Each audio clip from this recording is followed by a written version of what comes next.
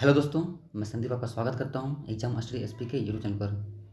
दोस्तों, आज मैं ऐसा प्रश्न लेकर आया हूँ, जिसको आप बहुत ही आसान तरीके से, जी हाँ दोस्तों, बहुत ही आसान तरीके से उसको कम समय में, बहुत ही कम समय में बिना पेन और पेपर के बना सकते हैं। दोस्तों, बहुत ही खतरनाक तरीका बताऊँगा, जी हाँ बहुत ही खतरनाक तरीका, जिससे कि आप इस तरह के प्रश्नों को आप बहुत ही आसानी से बना लेंगे, मात्र कुछ ही सेकेंड्स में। तो चलिए देना करते हुए शुरू करते हैं।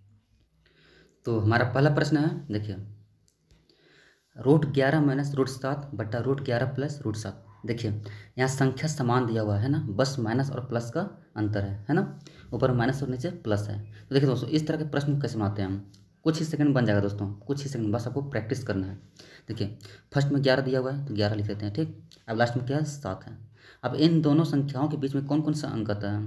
कौन सा संख्या आता है? तो आठ आता है, नौ आता है और दस आता है, ठीक? हो गया। अब देखिए, इन सब के बीच में, सबसे बीच में कौन सा संख्या दिया हुआ है? सबसे बीच में दिया हुआ है नौ। तो यहाँ नौ लिख लेना है। अब देखिए, प्रश्न देखिए, प्रश्न में सबसे ऊपर में कौन सा कौन सा साइन दिया हुआ है? माइनस है या प्लस है? माइनस है तो यहाँ माइनस दे लेंगे, है ना? अब देखिए क्या करना है। अब जो ग्यारह और सात जो है, ये ग्यारह और सात, इसको मल्टीप्लाई करेंगे। कितना का सतहत्तर आएगा। सतहत्तर आएगा। तो इसको क्या करेंगे हम? रूट में लिखेंगे। रूट रूट आएगा सतहत्तर। रूट सत्तर आ गया। अब देखिए, यहाँ कितना संख्या बचा हुआ है? ये तो लिखा गया, ये भी लिखा गया, है ना? और ये भी हो गया। अब कितना संख्या बच रहा है टोटल दस बच रहा है और आठ बच रहा है। कितना संख्या हुआ? टोटल दो संख्या हुआ। तो क्या करेंगे यहाँ? बट्टा में लिखेंगे। दो। दो लिख लिए? तो ये हमारा आंसर हो गया। जी हाँ दोस्तों, यही हमारा आंसर हो गया। चलिए फिर देखते हैं इसको हम। देखिए, ग्यारह और सात, है ना? अब सात और ग्यारह के बीच में कौन कौन संख्या आता है? आठ, नौ, दस। अब इन अब इन सबके बीच में, सबसे बीच में कौन सा आता है? नौ आता है है ना? नौ आता है ना तो इसको नौ लिख लेंगे यहाँ पर। अब ऊपर का साइन क्या दिया हुआ? माइनस तो माइनस लिखेंगे। अब इन दोनों को मल्टीप्लाई करेंगे, ग्यारह और सात तो कितना हुआ? सतहत्तर। सतहत्तर हुआ? तो सतहत्तर आए तो इसको हम क्या करेंगे? रूट में लिखेंगे, है ना? रूट में लिख देंगे अब बट्टा दो कर देंगे। दो इसलिए करेंगे चूँकि यहाँ दो संख्या बच रहा है, दस और आठ। दो संख्या बच रहा है ना, इसलिए हम दो लिखे हैं। तो ये हमारा आंसर हो गया। तो दोस्तों, उम्मीद करता हूँ आपको अच्छी तरह समझ में आ गया होगा। चलिए, अगला क्वेश्चन देखते हैं हम। देखिए, इसमें साइन चेंज हुआ है है ना? देखिए पाँच है और तीन है। तो इन दोनों के बीच में कितना अंक है? केवल चार है। एक ही अंक है। तो क्या करेंगे? यहाँ चार लिख देंगे, ठीक? अब देखिए, साइन कौन सा है? साइन प्लस है तो प्लस लिखते हैं यहाँ पर। अब देखिए, इन दोनों के बीच में कोई अंक बच रहा है क्या? नहीं बच रहा है तो कुछ लिखना नहीं है है ना?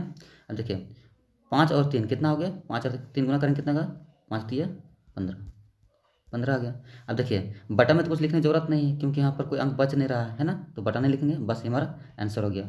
चार रूट, चार प्लस रूट, पंद्रह। है ना? ये हमारा राइट आंसर हो गया। तो उम्मीद करता हूँ दोस्तों, आपको अच्छी तरह समझ में आ रहा होगा। अगला प्रश्न देखते हैं हम। इससे भी लंबा है प्रश्न। देखिए तीसरा नंबर क्वेश्चन है। आपको इसमें देखने, इसको देखने में देखिए, आपको लगता होगा कि कितना बड़ा भारी है, ठीक ना? लेकिन इसको हम तुरंत बनाएँगे, है ना? बस उसी तरीका से। देखिए। पाँच प्लस तीन है, ठीक ना? देखिए, पाँच और तीन के बीच में कितना है? मात्र एक है। वही केवल चार है, ठीक ना? चार है तो इसको हम लिख लेंगे। देखिए। चार हो गया। अब प्लस है तो प्लस लिखते हैं। अब पिछले बताया था मैंने पहले, पाँच और तीन गुना हो जाएगा तो कितना हो जाएगा? पाँच दिया, पंद्रह। पंद्रह हो जाएगा। अब बटा में तो कुछ होगा नहीं ना, क्योंकि वहाँ पर कोई अंक बचा ही नहीं था, इसलिए बटा में कुछ भी नहीं होगा। अब ये प्लस का साइन है तो प्लस दे लेते हैं, है ना? अब देखिए, पाँच और तीन, फिर वही आ गया। बस साइन चेंज हुआ है तो इसमें फिर लिखेंगे चार। अब माइनस है तो माइनस देंगे। अब पाँच और तीन गुना करेंगे, कितना जाएगा? रूट पंद्रह। है ना? अब कट गया माइनस प्लस कट गया, अब कितना बचा? चार चार। चार और चार कितना बचा? आठ। तो ये हमारा राइट आंसर हो गया। आठ आंसर हो गया। है ना? तो, तो अच्छी तरह समझ में आ गया होगा आपको? अगला क्वेश्चन देखते हैं सेम क्वेश्चन है। देखिए। पाँच और सात। पाँच और सात के बीच में कौन सा अंक है? पाँच और सात के बीच में केवल छः है है ना? तो छः लिख लेते हैं यहाँ पर। अब साइन कौन सा है? साइन प्लस में है। अब सात और पाँच कितना हुआ रूट पैंतीस। रूट पैंतीस हो गया। अब बीच में कौन सा साइन है? देखिए बीच में प्लस है। अब फिर क्या है? प्लस के बाद क्या है? रूट सात माइनस रूट पाँच। तो इन दोनों के बीच में भी मात्र एक ही अंक है जो कि छः आता है। तो छः लिख लेंगे। अब क्या साइन दिया हुआ है? माइनस दिया हुआ है माइनस लिख लेंगे। अब सात बचे पैंतीस, है ना? सॉरी पैंतीस लिख लेंगे। अब यहाँ भी प्लस और माइनस कट गया तो छः छः, बारह। ये हमारा आंसर हो गया। है ना दोस्तों? अच्छा लग रहा है क्वेश्चन बनाने में? अगला क्वेश्चन देखते हैं। और लास्ट क्वेश्चन है।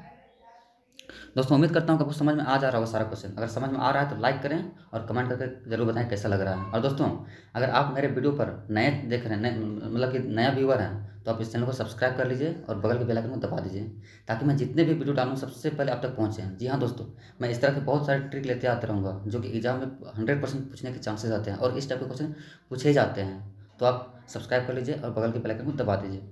तो अगला प्रश्न है हमारा, देखिए। रूट तीन और रूट रूट तीन और चार रूट तीन रूट तीन और चार रूट चार कौन बड़ा है? इन दोनों से बड़ा कौन है? तो देखिए, इसमें क्या करना होता है?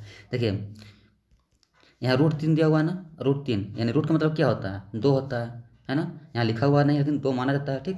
देखिए, यहाँ दो है और ये कितना दिया हुआ है ऊपर में? चार। तो ये दोनों का एल्शियम निकालेंगे। कितना आ जाएगा एल्शियम? चार आ जाएगा, है ना? चार आ गया एल्शियम? अब देखिए, चार आ गया, अब क्या करना है? देखिए रूट तीन को लिख लेंगे। अब यहाँ कुछ नहीं तो दो होता है है ना? अब कितना से इसको मल्टीप्लाई करेंगे कि चार आएगा? चार चूँकि एल्शियम चार था ना तो हमको चार लाना पड़ेगा। तो कितना से मल्टीप्लाई करेंगे? दो को चार आएगा। देखिए, दो से मल्टीप्लाई करेंगे तो चार आ गया। अब देखिए, जितना बाहर में मल्टीप्लाई किया, उतना ही अंदर में मल्टीप्लाई करना पड़ेगा, जो कि यहाँ स्क्वायर के रूप में रहेगा, ठीक? अब देखिए, क्या हो जाएगा इसका? बराबर में चार रूट तीन तिया नौ, ये हमारा हो गया। अब ये बच गया। अब इसमें क्या करेंगे? देखिए रूट चार लिख लेंगे। अब चूँकि चार यहाँ पहले से दिया हुआ है रेलसियम भी चार ही था तो यहाँ कुछ भी गुना करने की ज़रूरत नहीं है। अगर अब एक से गुना करेंगे तो मात्र वही आएगा, है ना? अब यहाँ एक से गुना किया तो यहाँ भी एक करेंगे तो कितना आ जाएगा? चार रूट चार। दोस्तों, आप इन दोनों से देख सकते हैं कि सबसे बड़ा कौन है है ना? दिख रहा है साफ़ साफ़ दिख रहा है कि ये बड़ा है, यही हमारा आंसर हो जाएगा। दोस्तों, उम्मीद करता हूँ सारा क्वेश्चन समझ में आ गया होगा।